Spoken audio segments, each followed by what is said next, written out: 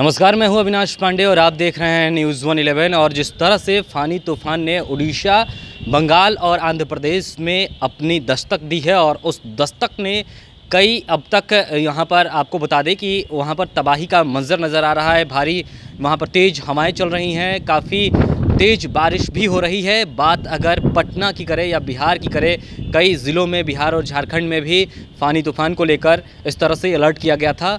आपको बता दें कि अभी हम इस वक्त अपने ऑफ़िस के छत पे मौजूद हैं और आप को नज़ारा यहाँ से दिखाना चाहेंगे कि यहाँ भी कुछ असर देखने को मिल रहा है। अगर आप कैमरा जूम करके हम दिखाने की कोशिश करेंगे, आप देखिए किस तरह से धूल पूरे यहाँ पर वातावरण में दिख रहा है और काफ़ी यहाँ पर धूल दिख रहा है। हालाँकि जिस तरह से दो दिनों पहले काफ़ी गर्मी थी पटना में, अब वो गर्मी थोड़ी सी लोगों को राहत ज़रूर मिली है गर्मी से, लेकिन यहाँ पे भी असर कहीं ना कहीं देखने को मिल रहा है। हमारे संवाददाता ने अभी पटना में मौसम विभाग के अधिकारियों से बातचीत की। उनका ये कहना है कि पटना या इसके आसपास के इलाका में या फिर बिहार में किसी तरीके की कोई क्षति या फिर भारी नुकसान की कोई खबर नहीं है, लेकिन पटना में भी मौसम बदला है और यहाँ पर भी उसका असर कुछ ज़रूर देखने को मिल रहा है। तेज़ हवाएँ थोड़ी सी चल रही हैं। अगर हम हवाओं की बात करें, आप देख सकते हैं कि किस तरह से यहाँ पंछियों में थोड़ी सी ज़्यादा चहलकदमी आ गई है। पंछियाँ काफ़ी यहाँ पर, पंछी आकाश में दिख रहे हैं। तेज़ हवाएँ यहाँ पे भी चल रही हैं और धूल थोड़ी सी वातावरण में भर गई है।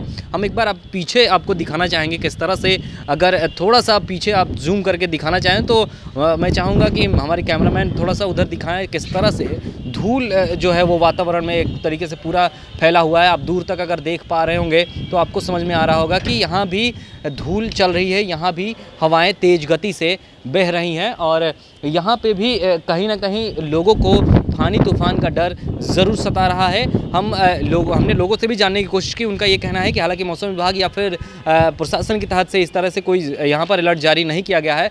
लेकिन हम आपको बता रहे हैं, हम अभी इस वक्त अपने ऑफ़िस के छत पर हैं और यहाँ से हम आपको नज़ारा दिखाने की कोशिश कर रहे हैं कि अभी के समय आपको यहाँ पर किस तरह से, अगर आप मेरे कपड़ों को या फिर देख पा रहे होंगे कि हवा यहाँ तेज़ भी चल रही है। तो न्यूज़ वन इलेवन के जिस तरह से हम आपको बता रहे हैं, न्यूज़ वन इलेवन की तरफ़ से कि फ़ानी तूफ़ान का पटना में क्या कुछ असर देखने को मिल रहा है, आपको हम बता दें कि फ़िलहाल जो असर यहाँ पर है, वो थोड़ा बहुत देखने को ज़रूर मिल रहा है। आप बन रहे हमारे साथ देखते रहे न्यूज़ वन इलेवन।